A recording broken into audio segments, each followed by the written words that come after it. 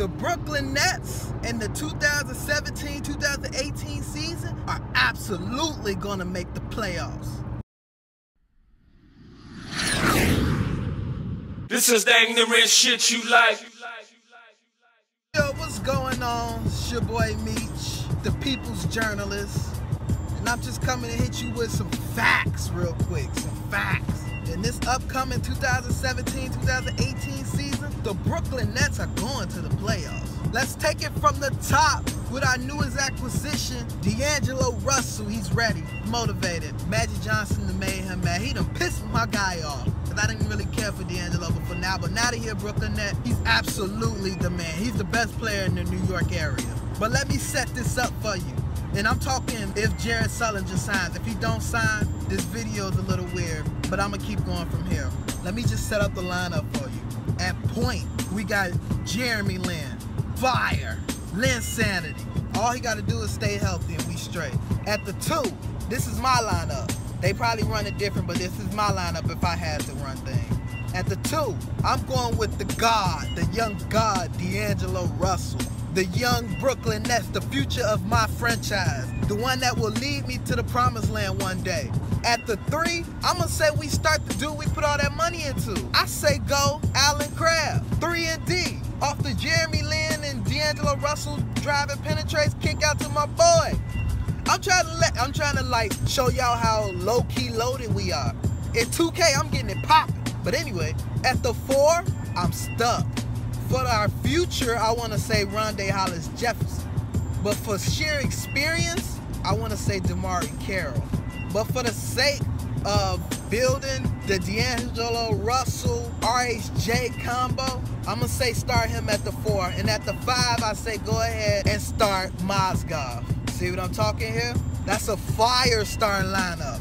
Don't play yourself. We winning some games. Remember, we in the East. We in the East. Remember that. So make sure you keep that a part of it. We are in the East.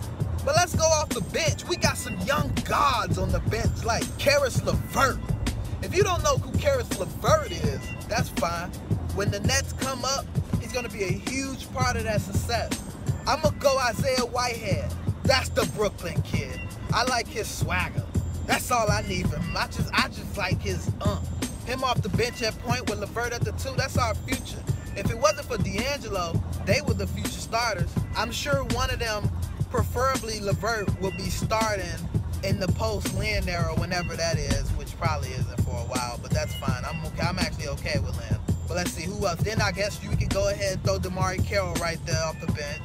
We got Jared Sullinger, if he could come over, we got him off the bench. I don't know, on 2K, I may start him. Because I got this thing where I be needing a shooter as a big, and Rondae ain't it, and neither is Mozgov. So I may start him on 2K, but for real life purposes, I think I want him off the bench. But I would be fine if they start him over Mozgov, but I like Mozgov. Back, they date back to my uh, my LeBron days when he was a Cleveland Cavalier, so that's my boy. See, this team, I see us building this like how the 76ers built the squad when they had Allen Iverson and they went to the finals. Because like Jeremy Lin ain't scaring nobody on defense. Let me clarify that right there. But we low key became a defensive juggernaut. We got some clampers.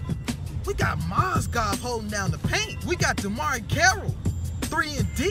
We got Rondae Hollis Jefferson, who's gonna grow into being an excellent defender. We stuck some young defenders around the young Gully God so he can work on offense. So that boy D'Angelo can work that offense. Now I worry about our shooting. We got some shooters, but I, I'm we you know in today's NBA we need like some lights out people. Like we need some light outers. So I'm gonna need Allen Crabbe to go in his bag and get that. You know I'm talking about another defensive player. As a matter of fact, I didn't even name him on that.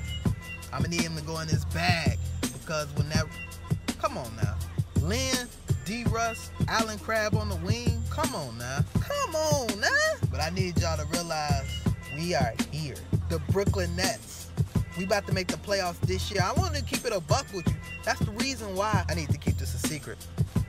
That's the reason why the Cavs don't want to make this trade. They know that number one pick ain't worth nothing no more. They know that the Brooklyn Nets is going to the playoffs. They see us. You see, as soon as the Jared Sullinger news start popping up, that's when them boys all of a sudden thinking about backing out the trade. Don't sleep on the Nets. One seed I'm gonna say eight to be safe, but I'm really feeling a seven. Not even gonna lie to you, I'm really feeling a seven seed coming. We gonna shock the world out here in Brooklyn. I don't think people really realize the the one-two punch we sitting on with with Lin and, and D Russ. I don't think people really realize the guard rotation we got in general. If anything, we only lacking that bigs and experience. You give us some time, we might, ooh, okay. Now when we make it to the second round of the playoffs, I don't know. But I do know one thing. We pushing whoever we do face. I'ma also go out and state right now, D'Angelo Russell's winning most improved player of the year. That's facts. Locked up. No competition. Now with that said though, I do need them to not make the playoffs the next year. We get our draft pick back and we on the race for Zion. So make sure that happens. It's been a long time since we've had something to be excited about in Brooklyn. We here, baby. Brooklyn, stand up. Brooklyn, we go hard. Gifted us something in D'Angelo Russell, so we gotta definitely take advantage of it. That's our cornerstone going forward. I'm definitely getting my D Russell jersey when the season starts. I got some things going on that I'm trying to do for the Nets throughout the year though, so keep your eye on that. I'ma just go ahead and say it right now so that you do know the Brooklyn Nets have been my favorite team since they uh since like the year before they got to Brooklyn, like during the transitional period. LeBron has always been my favorite player. And I got little favorite players sprinkled out throughout the league that will over time you will notice or whatever. But just letting you know my alliances, like we with the Nets fully, Brooklyn, whatever.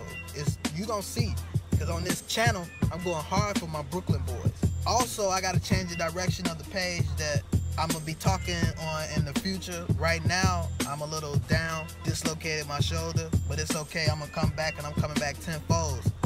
And that's when we expand the channel. Irrelevant ignorance. Yeah. This is the ignorant shit you like.